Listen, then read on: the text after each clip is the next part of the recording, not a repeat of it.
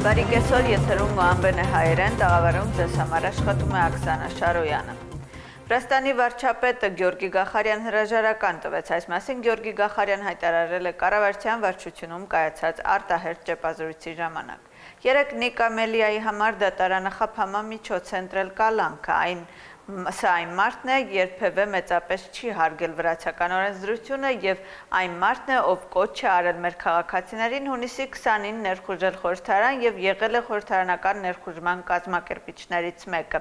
Բայց չնայած այն ամենին, իմ բացարձակ անսասան դիրքորոշումն այն է, որ մեկ անձի նկատմամբ անընդունելի է նույնիսկ օրինական արդարադատությամբ սահմանված միջոցի կիրառումը, եթե դա վտանգի տակ է դնում անհաս առհասարակ երկրում մեր քաղաքացիներին քաղաքացիների առողջությունը, կյանքը կամ քաղաքական լարվածությունը։ Այսօր հատկապես, երբ մեր երկրում արկա քաղաքական լարվածությունն ու բևեռացումը ռիսկեր են ստեղծում երկրի սահմաններից դուրս զարգանելու եւ երկրի անվտանգության եւ ապագայի համար, Մինչ մենք բոլորս մեր քաղաքացիների հետ միասին պայքարում ենք համաշխարային համաճարակի, տնտեսական ճգնաժամի, տարածաշրջանային մարտահրավերների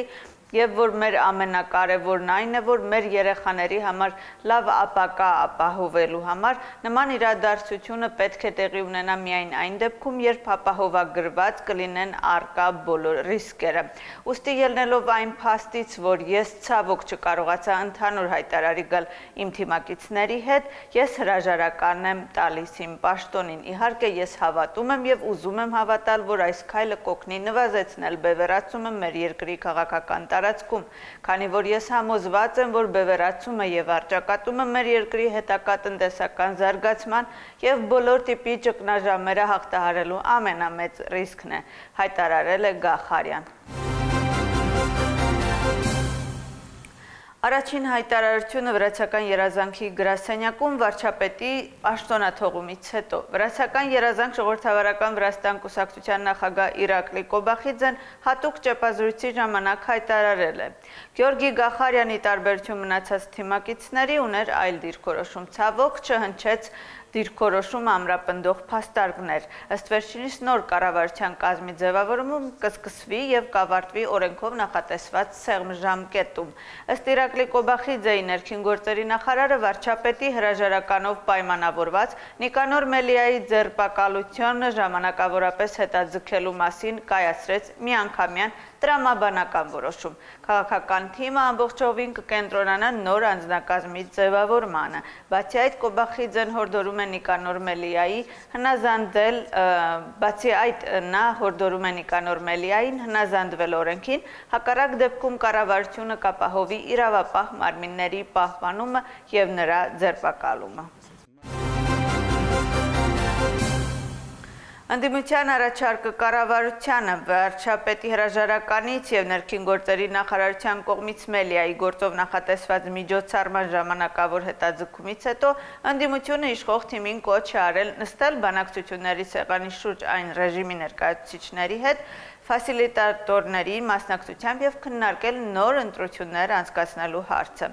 Ինքը Նիկամելիան, ինչպես նաեւ ազգային շարժման եւ այլ ընդդիմադիր կուսակցությունների ներկայացուցիչներ, մինչեւ այժմ գտնվում են ազգային շարժման գրասենյակում։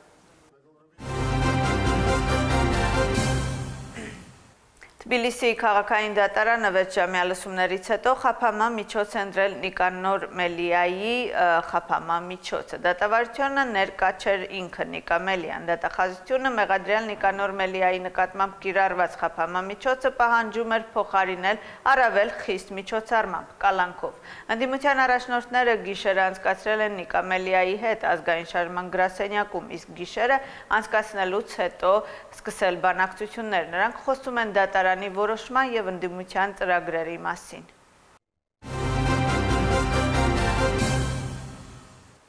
Մենք բոլորին կոչ ենք անում հանգստություն պահպանել եւ խուսափել բռնությունից։ Իր Facebook-յան էջում նշել է Վրաստանում ԱՄՆ-ի դեսպանատունը։ Վտանգավոր իրավիճակը, որը հաջորդում է Նիկամելիայի դատավճռին, բխում է ընտրական եւ դատական համակարգի երկարամյա խնդիրներից։ Անհրաժեշտ է, որ այսօր առավոտյան կառավարությունն ու ընդդիմությունը առավելագույն զսպվածություն ցուցաբերեն։ Այժմ ամենակարևոր հարցերի լուծման միակ ճանապարհը խաղաղ բանակցություններն են։ Խաղաղություն, խուսափիր բռնություն բռնությունից, ասվում է դեսպանության հայտարարությունում։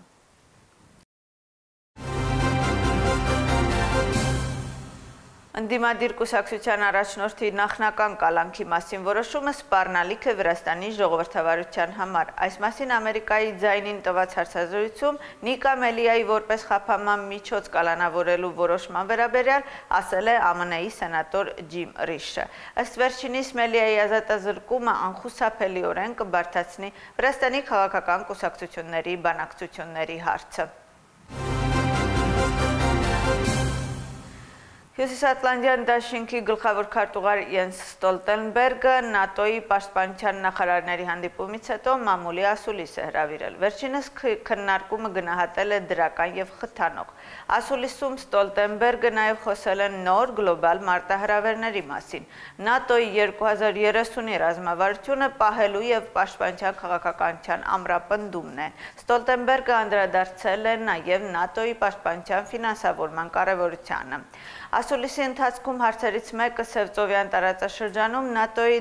դերակատարության ուժեղացումն էր, ինչպես նաև Ռուսաստանի ռազմական ագրեսիան Ուկրաինայում եւ Վրաստանում։ Հարցին թե ՆԱՏՕ-ն ինչ միջոցներ է նախատեսում ձեռնարկել իր արևելյան ճյուղի եւ Սևծովում ամրապնդելու համար, Դաշինքի գլխավոր քարտուղարը նշել է. ՆԱՏՕ-ի արևելյան ճյուղի հետ ռազմական ներկայությունը զգալիորեն ավելացել է եւ որ Վրաստանն ու Ուկրաինան Դաշինքի սերտ գործընկերներն են։